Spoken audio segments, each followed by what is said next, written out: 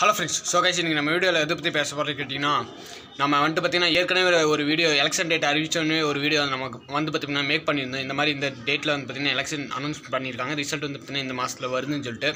அப்போ நம்ம ஒரு கணிப்பு ஒன்று பண்ணியிருந்தோம். நம்மளால் முடிஞ்ச வரைக்கும் நம்மளோட இது ஒன்று பண்ணியிருந்தோம். நம்ம ஒரு விஷயத்தை வந்து பார்த்திங்கன்னா ப்ரெடிட் பண்ணியிருந்தோம் அப்போவே. என்னன்னு சொல்லி கேட்டிங்கன்னா இனிமேல் வந்து பார்த்திங்கன்னா இந்த அரசியல் கட்சி தலைவர்களோட காரெலாம் வந்து பார்த்திங்கன்னா இவர் வீட்டிலேருந்து அவருக்கும் அவர் வீட்டிலேருந்து அவருக்கும் அவர் வீட்டிலேருந்து இவருக்கும் இந்த மாதிரி ஒரு ரெக்டாங் ரெக்டாங்கிளாக வந்து பார்த்திங்கன்னா போயிட்டே இருக்கும் காரு. எதுக்குன்னு சொல்லி கேட்டிங்கன்னா இந்த கூட்டணி பற்றி பேசுகிறதுக்கு கார்கள் வந்து பார்த்திங்கன்னா பறந்துக்கிட்டே இருக்கும்னு சொல்லி சொல்லியிருந்தோம் அந்த ஒரு வீடியோலேயே. ஸோ அது இப்போ வந்து பார்த்திங்கன்னா படிப்படியாக வந்து பார்த்திங்கன்னா ஆரம்பிச்சுட்டு வருதுன்னு தான் சொல்லணும். என்ன இருக்குன்னு சொல்லி கேட்டிங்கன்னா இப்போ கரண்ட் சுச்சுவேஷனில் நம்ம தமிழ்நாடு பொலிட்டிக்ஸ் பொலிட்டிக்கல் எப்படி போயிட்டுருக்குன்னு சொல்லி கேட்டிங்கன்னா ஃபர்ஸ்ட் ஆஃப் ஆல் நம்ம அந்த ஒரு வீடியோவில் வந்து பார்த்திங்கன்னா சொல்லியிருந்தோம். கூட்டணி யார் யாருன்னு சொல்லி நிறைய நிறைய வந்து பார்த்திங்கன்னா மென்ஷன் பண்ணியிருந்தோம். அப்படி இருக்கும்போது வந்து பார்த்திங்கன்னா இப்போ வந்து பார்த்திங்கன்னா நம்ம சமத்துவ மக்கள் கட்சி தலைவர் சரத்குமார் அவர்கள் தான் வந்து பார்த்திங்கன்னா ட்ரெண்டிங்கில் போயிட்டுருக்காருன்னு தான் சொன்னோம் என்ன இருக்குன்னு சொல்லி கேட்டிங்கன்னா ஃபஸ்ட்டு வந்து பார்த்திங்கன்னா சசிகலா அவர்களை போய் மீட் பண்ணார்.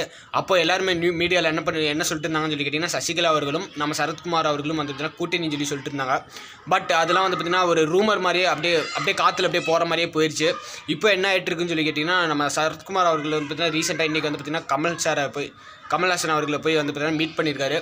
அது வெளியே வந்துட்டு அவர் என்ன சொல்லிட்டாருன்னு சொல்லி கேட்டிங்கன்னா நான் கூட்டணி தான். நம்ம நம்ம கட்சியும் நம்ம கமல் சாரோட கட்சியும் வந்து பார்த்திங்கன்னா கூட்டணி தான். பட் முதல்வர் வேட்பாளர் வந்து பார்த்திங்கன்னா கமல் சார் தான் சொல்லி சொல்லியிருந்தாரு. அந்த ஒரு நியூஸ் வந்து பார்த்திங்கன்னா செம்மட்ட வைரலாக போயிட்டு இருந்தது அடுத்த ஒரு ரெண்டு மணி நேரத்தில் நம்ம கமல் அவர்களை வந்து பார்த்திங்கன்னா ஒரு ஒரு அறிக்கை ஒன்று விட்டுருந்தார். என்னன்னு சொல்லி கேட்டிங்கன்னா கை குலுக்குனாலாம் கூட்டணின்னு சொல்லிட்டு யார் சொன்னான்னு சொல்லிட்டு ஒரு கேள்வி ஒன்று கேட்டிருந்தார் நம்ம சரத்குமார் அவர்களை பார்த்து.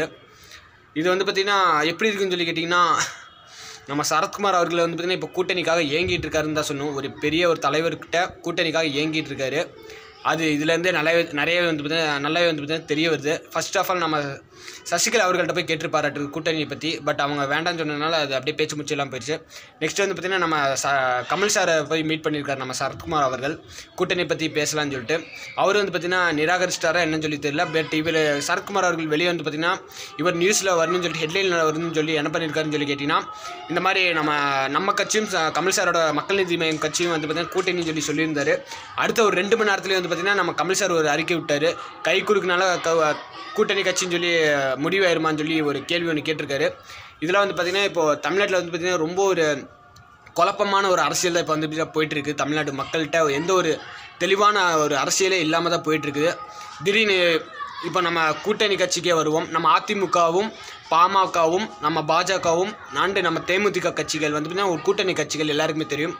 பட்டு இதில் என்ன இருக்குதுன்னு சொல்லி கேட்டிங்கன்னா நம்ம பாமகவுக்கு ஒரு தொகுதி வந்து பார்த்திங்கன்னா ஒதுக்கியிருப்பாங்க. கிட்டத்தட்ட ஒரு பதிமூணு தொகுதியோ இருபத்தி ரெண்டோ இருபத்தொரு தொகுதியோ சரியா தெரியல நம்ம தப்பாக சொல்லக்கூடாது. இந்த ஒரு தொகுதிகள் வந்து பார்த்திங்கன்னா ஒதுக்கியிருந்தாங்க அதிமுக கட்சியை சேர்ந்தவங்க. இப்போ என்ன இருக்குன்னு சொல்லி கேட்டிங்கன்னா பாஜக வந்து பார்த்திங்கன்னா நடுவில் நின்றுட்டு பாமக ஒதுக்கின பாமக அந்த கட்சிக்கு ஒதுக்கின தொகுதியில் எங்களுக்கு தாங்க. அதில் ஒரு முக்கியமான தொகுதியெலாம் நிறையா இருக்குது எங்களுக்கு தாங்கன்னு சொல்லி கேட்குறாங்க இன்னொரு சைடு இவங்க பாஜகக்காரங்க கேட்குறாங்கன்னா இது ஒரு சைடு இருக்கட்டும் இன்னொரு சைடு அதே கூட்டணியிலே இருக்கக்கூடிய நம்ம தேமுதிக கட்சி நம்ம விஜயகாந்த் அவர்களுடைய கட்சிக்காரங்களும் வந்து பார்த்திங்கன்னா என்ன கேட்குறாங்கன்னு சொல்லி கேட்டிங்கன்னா பாமக கொடுத்த தொகுதி எங்களுக்கு தாங்கன்னு சொல்லி கேட்குறாருங்க ஸோ இது இதுவும் ஒரு மிகப்பெரிய ஒரு குழப்பமான அரசியலாக தான் வந்து பார்த்திங்கன்னா இது வரைக்கும் போயிட்டு இருக்குது. அண்டு நம்ம சீமான் அவர்கள் தான் வந்து பார்த்திங்கன்னா இப்போது தனிச்சு நின்றுருக்காரு.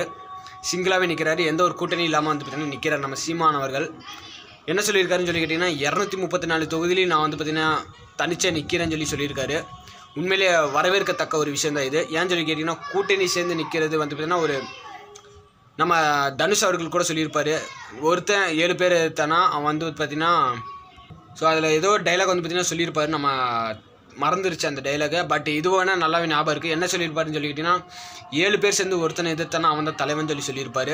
கிட்டத்தட்ட நம்ம சீமான் அவர்கள் இப்போ வந்து பார்த்தீங்கன்னா தனிச்சு தான் போட்டி போட்டிக்கிறாரு அதனால் நான் சீமானுக்கு சப்போர்ட் பண்ணுறேன்னு சொல்லிலாம் யாருமே நினச்சிக்காதீங்க தயவு செஞ்சு பட் இருந்தாலும் ஒரு மனுஷன் தனித்து நின்று நான் உங்களுக்காக நல்லது பண்ணுறேன்னு சொல்லி வராரு. இதுவும் நான் அவருக்கு சப்போர்ட் பண்ணுற மாதிரி தான் இருக்குது சாரி அண்டு நீங்கள் யாருக்கு இந்த தடவை ஓட்டு போடுவீங்கன்னு சொல்லி மறக்காமல் கமெண்ட்ஸில் கமெண்ட் பண்ணுங்கள் நான் மட்டும் இல்லை ஒரு நாலஞ்சு பேராவது பார்த்து தெரிஞ்சுக்குவாங்க. ஸோ தட்சியோடைய ஃப்ரெண்ட்ஸ் இதான் இப்போ வந்து பார்த்திங்கன்னா கரண்ட் சுச்சுவேஷனாக போயிட்டுருக்கு தமிழ்நாடு பொலிட்டிக்ஸில் அண்டு நம்ம சசிகலா அவர்கள் இது வரைக்குமே எந்த ஒரு வாயும் வந்து பார்த்திங்கன்னா ஓப்பன் பண்ணாமல் தான் இருக்காங்க. கூட்டணி பற்றியோ அதிமுக பற்றியோ எதுவுமே இன்னும் வாய் திறக்கல. ஸோ கண்டிப்பாக என்ன நடந்தாலும் உடனுக்குடன் உங்களுக்கு வந்து பார்த்திங்கன்னா அந்தந்த நாள் நான் டெய்லியுமே வீடியோ போட்டுருவேன். ஸோ தேங்க்ஸ் ஃபார் வாட்சிங் பை ஃப்ரெண்ட்ஸ்